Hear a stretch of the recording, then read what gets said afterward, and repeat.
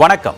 தமிழகத்தில் உள்ள அனைத்து மாவட்ட நிகழ்வுகளை உங்கள் வரவேற்பறைக்கு கொண்டு வந்து சேர்க்கும் தமிழ்நாடு த்ரீ சிக்ஸ்டிக்கு உங்களை வரவேற்பது நான் அருணேஸ்வர்.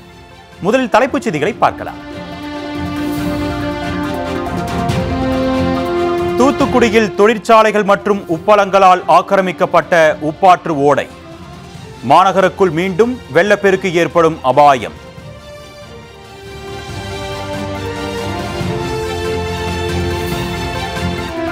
உளுந்தூர்பேட்டை அருகே மழைநீர் தேங்கி சேரும் சகதியுமாக உள்ள சாலை. நாற்று நடும் போராட்டத்தில் ஈடுபட்ட கிராம மக்கள்.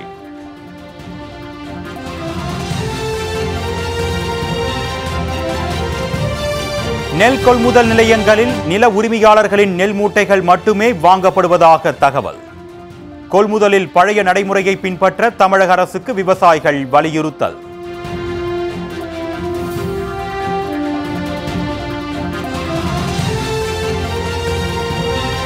ஆற்காட்டில் நாளுக்கு நாள் அதிகரித்து வரும் போக்குவரத்து நெரிசல். ரிங் ரோடு அமைத்து தருமாறு பொதுமக்கள் கோரிக்கை.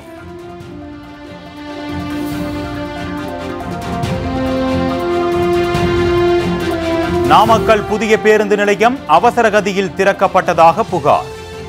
பயணிகள் சந்திக்கும் சிரமங்களை விளக்கும் இன்றைய செய்தி தொகுப்பு.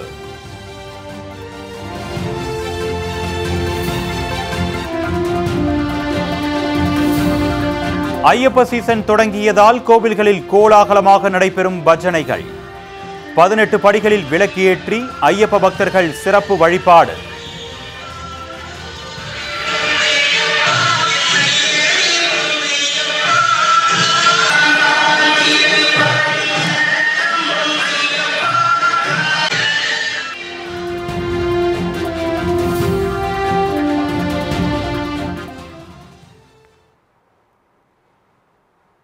இனி விரிவான செய்திகளை பார்க்கலாம். தூத்துக்குடியில் உப்பாற்று ஓடை ஆக்கிரமிக்கப்பட்டிருப்பதால் தூத்துக்குடி மாநகருக்குள் மீண்டும் வெள்ளப்பெருக்கு அபாயம் உருவாகியுள்ளது. தென் மாவட்டங்களில் ஒன்றான தூத்துக்குடியில் கடந்த ஆண்டு பெய்த வரலாறு காணாத கனமழையால் வெள்ளப்பெருக்கு ஏற்பட்டது. இந்நிலையில் தூத்துக்குடியில் இருந்து திருச்செந்தூர் செல்லும் சாலையில் அமைந்துள்ள உப்பாற்று ஓடையின் பெரும்பகுதி ஆக்கிரமிக்கப்பட்டுள்ளது. தொழிற்சாலைகளும் உப்பளங்களும் ஆக்கிரமித்திருப்பதால் பறந்து விரிந்திருந்த உப்பாற்று ஓடை தற்பொழுது சிறிய வாய்க்கால் போல காணப்படுகிறது. மரத்தில் இது அடித்துப்பட்ட குப்பைகள் அந்த சீம கருவேலம் செடிகள் எது? அமல செடிகள் அதுபோல் எல்லா செடிகளும் எது? இந்த உப்பாற்று ஓடையை சுற்றி தான் இருக்கிறது. அது எதுவுமே அகற்றப்படவில்லை. மாவட்ட நிர்வாகமோ கிராம நிர்வாகமோ இங்கே இருக்கக்கூடிய அமைச்சர் கீதார்ஜுன் அவர்களோ இது மேயர் அவர்களோ இந்த ஓடையை சீரமைக்குங்கிற சிந்தனையில் யாருமே எந்த அரசியல்வாதிகளுமே வரவில்லை. இது வரக்கூடிய காலகட்டத்தில் நாளைக்கே மழை பெய்து வெளில வந்தாலும் உப்பாற்று ஓடையில் வைத்து இது தண்ணீர் ஃபுல்லாகவே முத்தியாபுரம் பகுதிக்கு வரக்கூடிய சூழ்நிலை இருக்கிறது. கரையை மேம்படுத்துறேன்னு சொல்லி எந்த விதமான பணியும் நடக்கவில்லை. உப்பாற்று ஓடையில் ஆக்கிரமிப்புகளை அகற்றவோ தூர்வாரும் பணிகளை மேற்கொள்ளவோ தூத்துக்குடி மாநகராட்சி நிர்வாகம் நடவடிக்கை எடுக்கவில்லை என்று பொதுமக்கள் குற்றம் சாட்டியுள்ளனர். தூத்துக்குடியில் மீண்டும் வெள்ளப்பெருக்கு ஏற்படாமல் இருக்க உப்பாற்று ஓடையை போர்க்கால அடிப்படையில் சீரமைக்குமாறு அவர்கள் கோரிக்கை வைத்துள்ளனர். கொண்டு போய் கரைக்கு வச்சிடுறாங்க. அப்போ ஆட்டோமேட்டிக்காக கரை கரைஞ்சி பழையபடி இந்த பள்ளத்தில் தான் உழுத வழியே அந்த சரியான வழித்தடம் கிடைக்க மாட்டேங்குது. ஆற்றோட நடு பகுதியில் அங்கே உள்ள மணல் திட்டுகளை உள்ளே புதுக்கோட்டையிலேருந்து க்ளீனாக நீங்கள் வந்து வ- ஓடைய ஃபுல்லாக க்ளீன் பண்ணி கடற்கரை வரை சரி பண்ணி கொடுத்தீங்கன்னா ஓரளவுக்கு வெள்ளம் போக தண்ணி வந்து க்ளீனாக போகும். பாலத்துக்கில் பார்த்தீங்கன்னா கல் கிடக்கு மணல் கிடக்கு. இங்கே சுற்றி நீங்கள் பக்கத்துலேயே பார்க்கலாம். எல்லா இடத்துலையும் பார்த்தீங்கன்னா கல் மண்ணுமா இருக்குது அதெல்லாம் அகற்றி கொடுத்தாலே தண்ணி க்ளீனாக போயிட்டு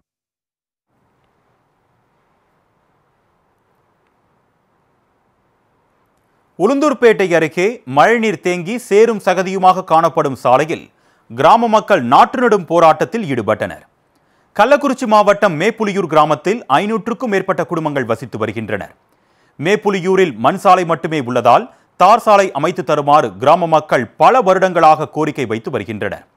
இந்நிலையில் அண்மையில் பெய்த கனமழையால் மண் சாலையில் மழைநீர் தேங்கி குளம் போல காட்சியளிக்கிறது. இதனால் அவதியடைந்த அப்பகுதி மக்கள் சாலையில் நாற்று நடும் போராட்டத்தில் ஈடுபட்டனர்.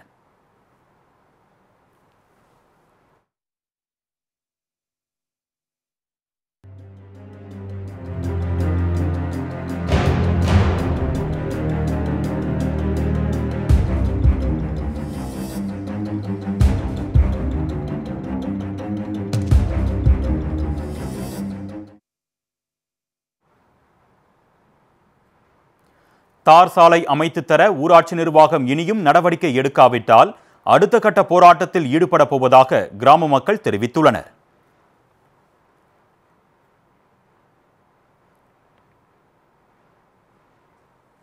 நெல் கொள்முதல் நிலையங்களில் நில உரிமையாளர்களின் நெல் மூட்டைகளை மட்டுமே கொள்முதல் செய்யப்படும் என்ற அரசாணையை ரத்து செய்யுமாறு விவசாயிகள் வலியுறுத்தியுள்ளனர். திண்டுக்கல் மாவட்டம் நிலக்கோட்டை விளாம்பட்டி மட்டப்பாறை ராமராஜபுரம் உள்ளிட்ட பகுதியில் கடந்த மூன்றாயிரம் சுமார் மூன்றாயிரம் ஏக்கர் பரப்பளவில் நெற்பயிர்கள் பயிரிடப்பட்டுள்ளன. நெற்கதிர்கள் நன்கு வளர்ந்திருப்பதால் விவசாயிகள் அறுவடை பணிகளை தொடங்கியுள்ளனர். இந்நிலையில் விளாம்பட்டி அரசு நேரடி நெல் கொள்முதல் நிலையத்தில் நெல் மூட்டைகள் கொள்முதல் செய்யப்படுகிறது. அங்கு நில உரிமையாளர்களின் நெல் மூட்டைகளை மட்டுமே கொள்முதல் செய்யப்படுவதால் குத்தகை நில விவசாயிகள் பெரும் அதிர்ச்சியடைந்துள்ளனர் இந்த பிரச்சினைக்கு தீர்வு காண நடவடிக்கை எடுக்குமாறு தமிழக அரசுக்கு விவசாயிகள் கோரிக்கை விடுத்துள்ளனர். ஆனால் இங்கே உள்ளவர்கள் பல வெளிநாட்டில் இருப்பதால் அவங்களுடைய நெல்லை வந்து குத்தகையாக பேசி இங்கே விட்டு போயிருக்காங்க.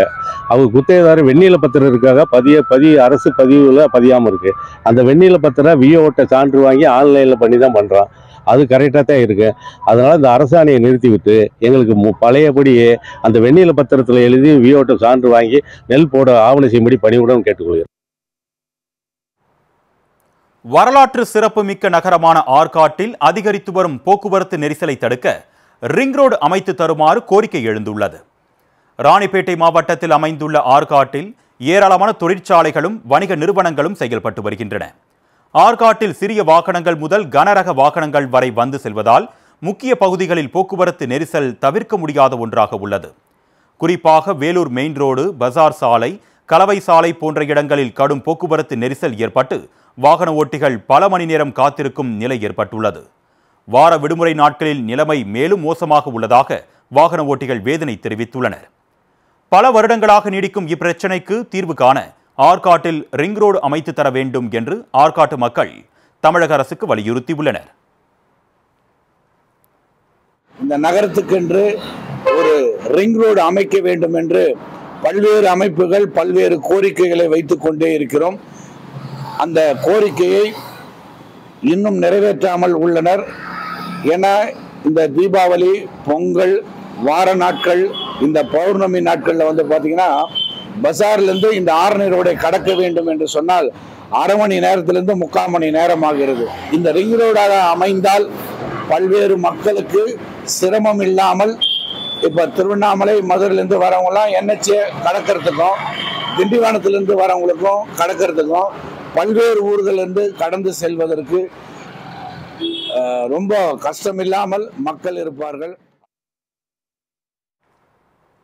ஐயப்ப சீசன் தொடங்கியுள்ளதால் தமிழகத்தின் பல்வேறு பகுதிகளில் உள்ள ஐயப்பன் கோவில்களில் பஜனைகள் கோலாகலமாக நடைபெற்று வருகிறது. கார்த்திகை மாதம் தொடங்கியுள்ளதால் ஐயப்ப பக்தர்கள் மாலை அணிந்து மண்டல விரதத்தை தொடங்கியுள்ளனர் இந்நிலையில் புதுக்கோட்டை மாவட்டம் ஆலங்குடியில் அமைந்துள்ள ஐயப்பன் கோவிலில் சிறப்பு பஜனை நடைபெற்றது. இதில் நூற்றுக்கணக்கான ஐயப்ப பக்தர்கள் கலந்து கொண்டு பக்தி பாடல்களை பாடினர். இதனைத் தொடர்ந்து பதினெட்டு படிகளில் விளக்கேற்றி தர்மசாஸ்தாவுக்கு மகா தீபாராதனை காண்பிக்கப்பட்டது. நீர்நிலைகளின் கரைகளில் நான்கு லட்சம் பனை விதைகளை விதைத்து தன்னார்வ அமைப்பினர் சாதனை படைத்துள்ளனர். விதைகள் என்ற தன்னார்வ அமைப்பினர் வருடம்தோறும் நீர்நிலைகளின் ஓரங்களில் ஒரு லட்சம் பனை விதைகளை விதைத்து வருகின்றனர். அந்த வகையில் விதைகள் அமைப்பின் மூலம் கடந்த மூன்று வருடங்களில் மூன்று லட்சம் பனை விதைகள் நடவு செய்யப்பட்டன. நான்காம் வருடத்திற்கான பனை விதைகளை விதைக்கும் பணி காஞ்சிபுரத்தில் தொடங்கியது. பனிரெண்டு வாரங்கள் நடைபெற்ற இந்த நிகழ்வின் மூலம் காஞ்சிபுரத்தில் உள்ள குட்டை ஏரி குளம் உள்ளிட்ட நீர்நிலைகளில் ஒரு லட்சம் விதைகள் விதைக்கப்பட்டன. இறுதி நாளன்று திருமுக்கூடல் பாலாற்றின் கரையோரம் மாணவர்கள் ஐந்தாயிரம் பனை விதைகளை விதைத்தனர்.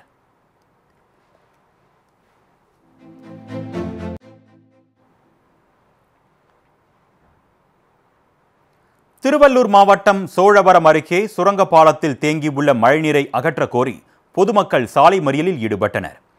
சோழவரத்தில் இருந்து தேவநேரி எஸ்பிகே நகர் செல்லும் மக்கள் புறவழி சாலையில் அமைந்துள்ள சுரங்க பாலம் வழியே சென்று வருகின்றனர். அண்மையில் பெய்த கனமழையால் சுரங்க பாலத்தில் முழங்கால் அளவு தண்ணீர் தேங்கியுள்ளது. இதனால் அவதியடைந்த வாகன ஓட்டிகளும் அப்பகுதி மக்களும் சென்னை கொல்கத்தா தேசிய நெடுஞ்சாலையில் மறியலில் ஈடுபட்டனர்.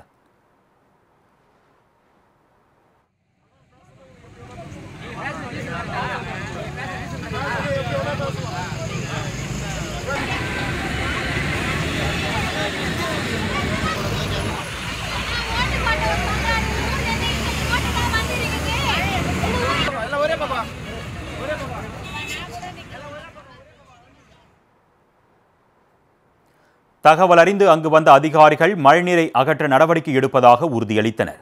இதனைத் தொடர்ந்து பொதுமக்கள் கலைந்து சென்றனர். இருப்பினும் மறியல் போராட்டத்தால் தேசிய நெடுஞ்சாலையில் சிறிது நேரம் போக்குவரத்து பாதிக்கப்பட்டது.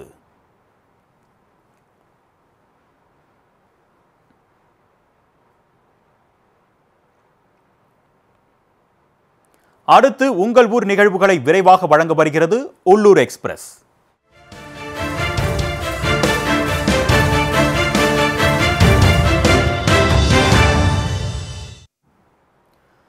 திருவண்ணாமலை அருகே காருக்கு அடியில் சிக்கிய கன்றுக்குட்டியை தாய்பசு பாச போராட்டம் நடத்தி மீட்டது. செங்கம் பகுதியில் சாலையோரம் படுத்திருந்த கன்றுக்குட்டி மீது கார் மோதியது. காருக்கு அடியில் கன்றுக்குட்டியின் தலை சிக்கியது.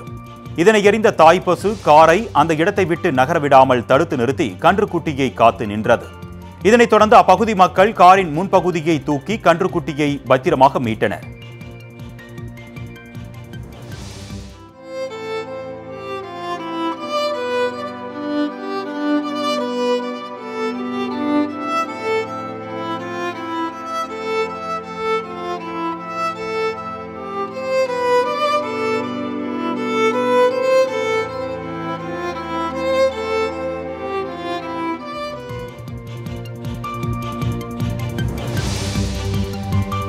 சிதம்பரம் அருகே நீண்ட போராட்டத்திற்கு பிறகு தங்கள் பகுதிக்கு இயக்கப்பட்ட அரசு பேருந்துக்கு கிராம மக்கள் உற்சாக வரவேற்பு அளித்தனர்.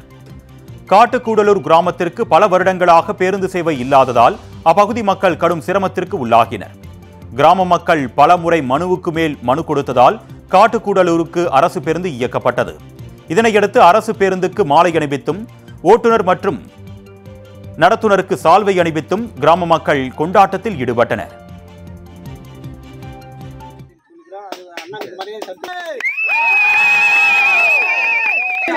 தம்பி கொஞ்சம் பின்னாடி தம்பி.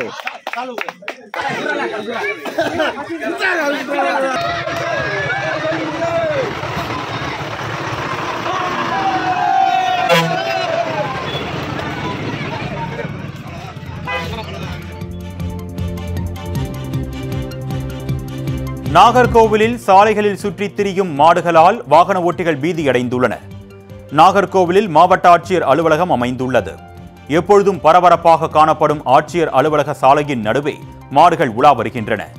விபத்துகள் ஏற்படுவதற்கு முன்பு மாடுகளை பிடித்து அதன் உரிமையாளர் மீது நடவடிக்கை எடுக்குமாறு நாகர்கோவில் மாநகராட்சிக்கு வாகன ஓட்டிகளும் பொதுமக்களும் வேண்டுகோள் வைத்துள்ளனர்.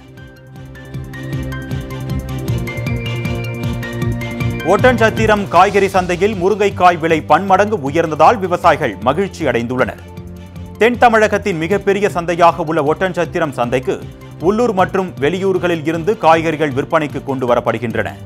இந்நிலையில் கனமழை காரணமாக சந்தைக்கு முருங்கைக்காய் வரத்து குறைந்தது.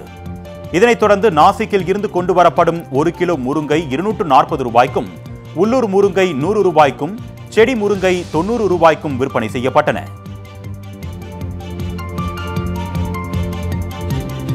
விருதுநகர் மாவட்டம் வத்திராயிருப்பு அருகே நெற்பயிர்களை நோய்கள் தாக்கி வருவதால் விவசாயிகள் கவலையடைந்துள்ளனர். வஜ்ராயிருப்பு மகாராஜபுரம் தம்பிப்பட்டி கோட்டையூர் உள்ளிட்ட இடங்களில் ஐந்தாயிரத்து ஐநூறு ஏக்கர் பரப்பளவில் நெற்கள் பயிரிடப்பட்டுள்ளன. இந்நிலையில் நெற்பயிர்கள் கூளை செவ்வட்டை போன்ற நோய்களால் பாதிக்கப்பட்டுள்ளன. பாதிக்கப்பட்ட நெற்பயிர்களை ஆய்வு செய்து நோய்க்கொல்லி வழங்குமாறு வேளாண் துறை அதிகாரிகளுக்கு விவசாயிகள் கோரிக்கை வைத்துள்ளனர்.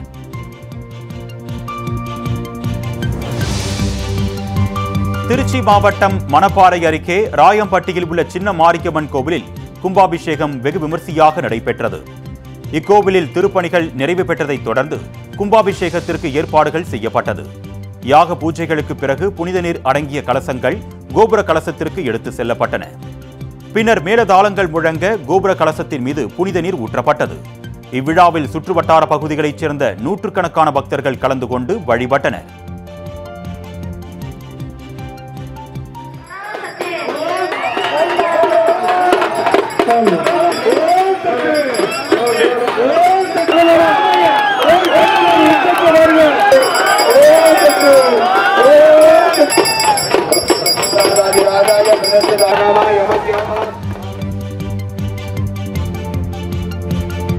மயிலாடுதுறை மாவட்டம் குத்தாலத்தில் உள்ள தீர்த்தவாரி உற்சவம் கோலாகலமாக நடைபெற்றது. தருமபுரம் ஆதீனத்திற்கு சொந்தமான உக்தவேதீஸ்வரர் ஆலயத்தில் இருந்து சுவாமி மற்றும் அம்பாள் வீதி உலாவாக காவிரி கரைக்கு கொண்டு செல்லப்பட்டன. இதனைத் தொடர்ந்து அஸ்திர தேவருக்கு சிறப்பு அபிஷேகம் மற்றும் ஆராதனை செய்யப்பட்டது. தீர்த்தவாரி உற்சவத்தில் ஏராளமான பக்தர்கள் பங்கேற்று வழிபட்டனர்.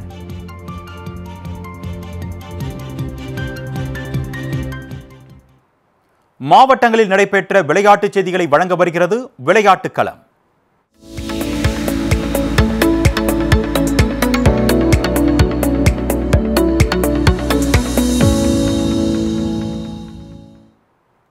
கோவில்பட்டியில் நடைபெற்ற தென் மாவட்ட அளவிலான விளையாட்டுப் போட்டிகளில் நூற்றுக்கும் மேற்பட்ட மாணவ மாணவிகள் கலந்து கொண்டு தங்களது திறமைகளை வெளிப்படுத்தினர். Tamil Nadu sports and cultural academy சார்பில் கோவில்பட்டியில் உள்ள தனியார் கல்லூரியில் தென் மாவட்ட அளவிலான விளையாட்டுப் போட்டிகள் நடைபெற்றது. இதில் சிலம்பம் கேரம் சதுரங்கம் உள்ளிட்ட போட்டிகளில் தூத்துக்குடி தென்காசி கன்னியாகுமரி விருதுநகர் ஆகிய மாவட்டங்களைச் சேர்ந்த மாணவ மாணவிகள் கலந்து கொண்டனர்.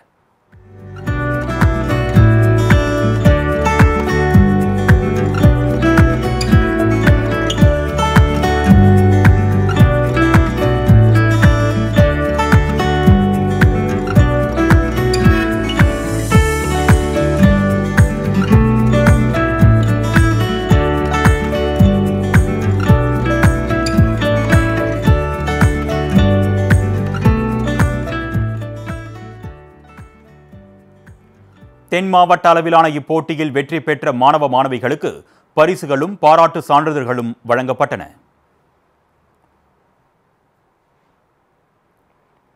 தேனியில் நடைபெற்ற போட்டியில் சேவல்கள் பறந்து பறந்து சண்டையிட்டதை பொதுமக்கள் ஆர்வத்துடன் கண்டு ரசித்தனர்.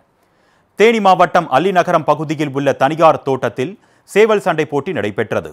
இப்போட்டியில் பங்கேற்க தமிழகம் மட்டுமின்றி புதுச்சேரி கர்நாடகா கேரளா போன்ற வெளி மாநிலங்களைச் சேர்ந்தவர்களும் சேவல்களை கொண்டு வந்தனர். இருநூற்றுக்கும் மேற்பட்ட சேவல்கள் கலந்து கொண்ட இப்போட்டியில் இருபது களங்கள் அமைக்கப்பட்டு ஒவ்வொரு ஜோடிக்கும் பதினைந்து நிமிடங்கள் ஒதுக்கப்பட்டன.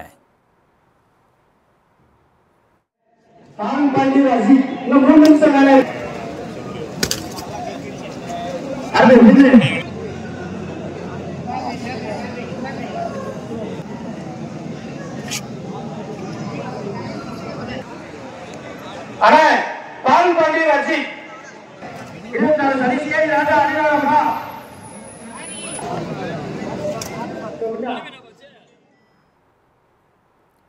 அதிக பந்தயத்தில் வெற்றி பெற்ற சேவல்களின் உரிமையாளர்களுக்கு வாஷிங் மெஷின் மிக்சி உள்ளிட்ட பரிசு பொருட்கள் வழங்கப்பட்டன. பரிசுகளை தேனி நாடாளுமன்ற உறுப்பினர் தங்க தமிழ்ச்செல்வன் வழங்கி பாராட்டினார். சிவகங்கை அருகே மருது பாண்டியர்களின் நினைவு தினம் மற்றும் முத்துராமலிங்க தேவரின் ஜெயந்தி விழாவை முன்னிட்டு மாட்டு வண்டி பந்தயம் நடைபெற்றது. சிவகங்கை மாவட்டம் திருப்பத்தூரில் பெரிய மாடு சிறிய மாடு என இரண்டு பிரிவுகளில் இப்போட்டி நடைபெற்றது. பெரிய மாடுகளுக்கு பத்து கிலோமீட்டர் தூரமும் சிறிய மாடுகளுக்கு ஆறு கிலோமீட்டர் தூரமும் இலக்காக நிர்ணயிக்கப்பட்டது. இப்போட்டியில் பல்வேறு மாவட்டங்களைச் சேர்ந்த அறுபத்தைந்து மாடுகளும் அதன் சாரதிகளும் பங்கேற்றனர். போட்டி தொடங்கியதும் மாடுகள் சீறி பாய்ந்து ஓடின.